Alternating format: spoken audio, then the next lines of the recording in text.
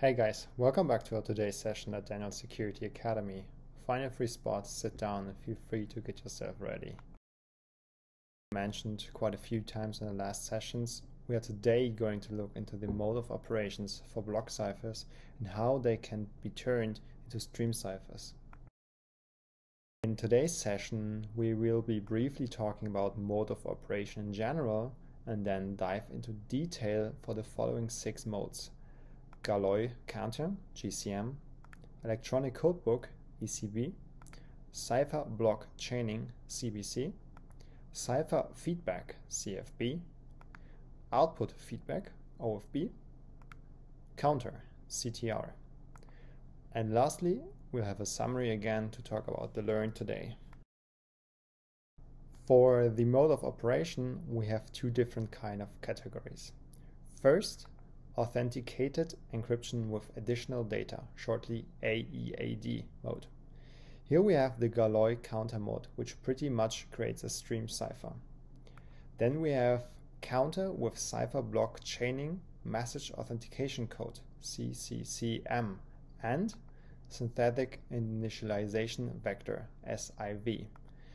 On the other hand, we have those modes which only provide confidentiality but not also integrity. Uh, it's electronic codebook ECB, cipher block chaining CBC, cipher feedback CFB, output feedback OFB, and counter.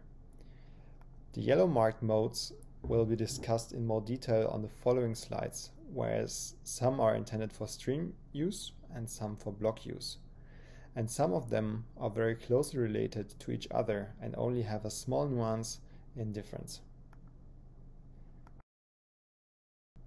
Let's start with the GCM mode, which is the most complicated from the ones we are going to look at.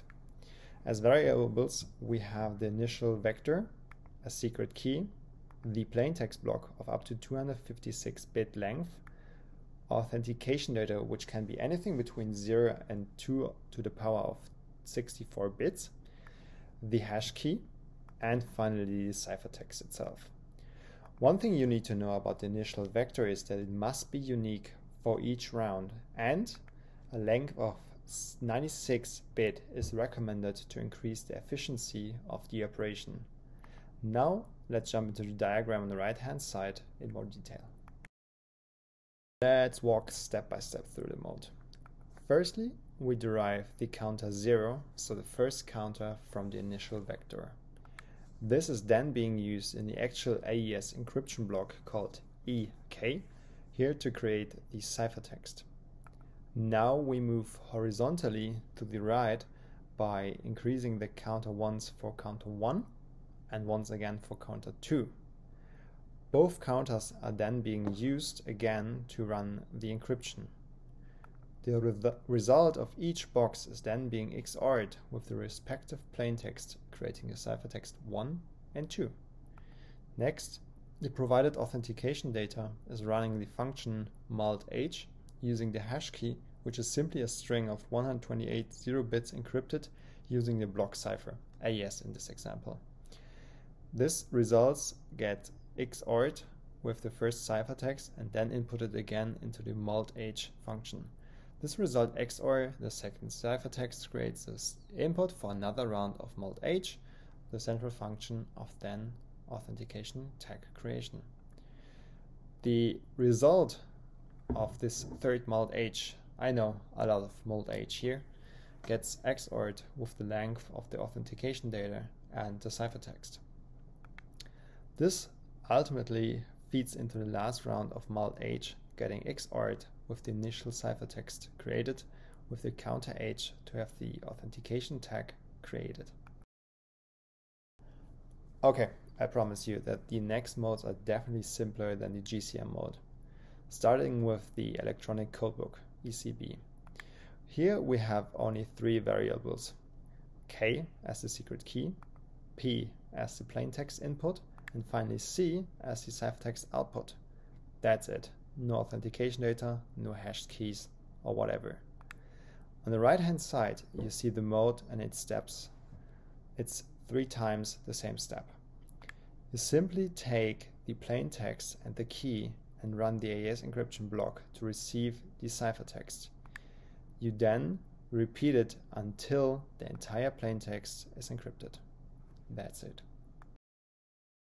The next mode is cipher block chaining, CBC, which creates kind of a chain of encryption as we reuse the ciphertext generated. Here we have one additional variable apart from the key, the plaintext and the ciphertext, an initial vector, which will be used only in the first round. This initial vector gets XORed with the plaintext before this is fed into the AES encryption. Then we run our 10, 12 or 14 rounds of AES using the given key. This result is our first ciphertext. In order to encrypt the next chunk of plaintext, we are XORing the first ciphertext block with the next plaintext block, which then is inputted into the AES encryption block. We continue with this until we have reached the end of the plaintext and everything is encrypted. Therefore, the previous encryption block has an impact on the next encryption block. For the cipher feedback CFB, we are having a fairly similar setup for the encryption operation. We have the same variables as before in CBC, but this time we actually use the initial vector with the key to run in the AES encryption. This result is being XORed with the first plaintext to create the first ciphertext. So in fact, for the first round, we did not really encrypt the plaintext, but rather the initial vector and then only XORed the plaintext into it. The produced ciphertext is then used in the next round with the key to run the block cipher encryption and XOR it afterwards with the next chunk of plaintext.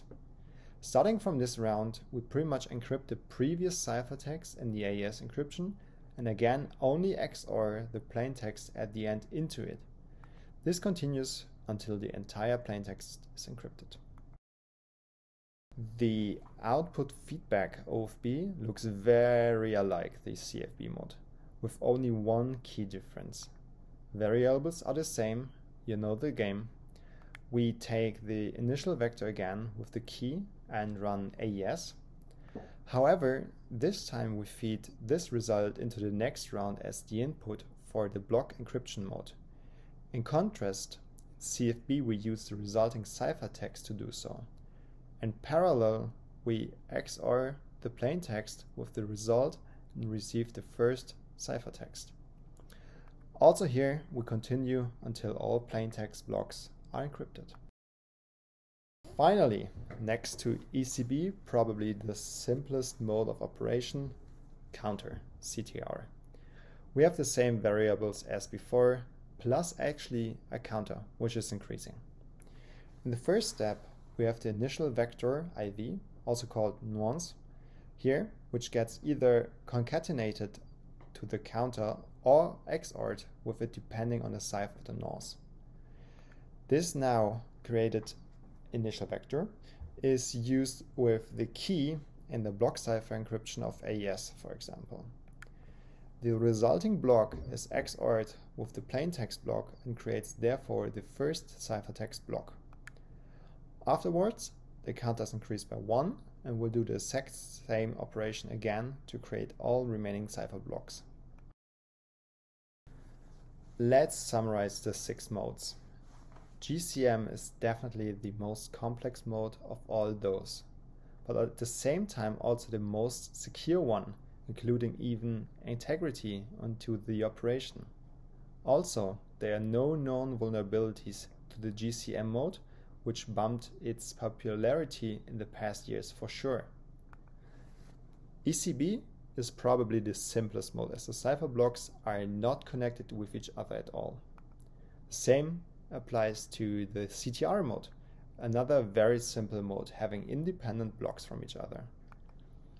CFB and OFB are very similar to each other and only differ in one point which result is fed into the next round of encryption, the result of the encryption block or the final ciphertext. Lastly, CBC is also closely related, related to CFB and OFB, but CBC uses the plain text to encrypt the next block cipher encryption instead of the initial vector for the other two modes. That's it for today's session. I hope it helped you guys with learning something new today or simply having a refresh of know-how. I hope to see you in the upcoming videos again. Next up is a look into asymmetric encryption systems and feel free to leave comments, questions or feedback under the video and make sure to subscribe to the channel if you enjoy my content. Have a good one and stay safe.